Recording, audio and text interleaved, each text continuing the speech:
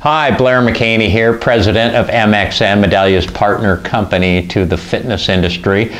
Coming to you from the beautiful uh, Wenatchee Valley, where our offices are, up in the middle of the state of Washington. Looking forward to coming to Brazil to see all of our friends in the fitness industry there.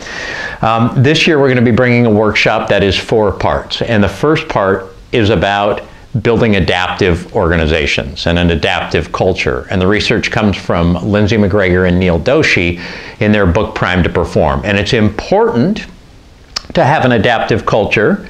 And that leads into the second part of the workshop so that your company knows how to innovate or your location. So you know how to innovate. How do you take advantage of opportunities and solve problems? So the second part is about innovation. What is innovation?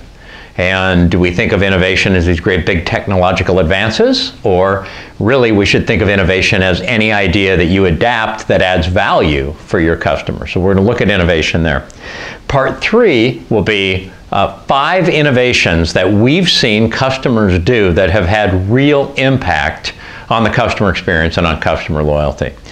And the fourth part is on customer success and how do we design for customer success? So I'm going to give you some really neat data on customers that score their fitness results well against customers that don't score their fitness results well. In other words, how satisfied are you with your fitness results? So how do we design for customer success? Um, so four parts. Building an adaptive culture. Innovation, what is it? Here's five innovations that can have impact on your business, and four customer success and how do we design for it. Eager to see you in Brazil. Uh, thank you very much. We'll see you in April.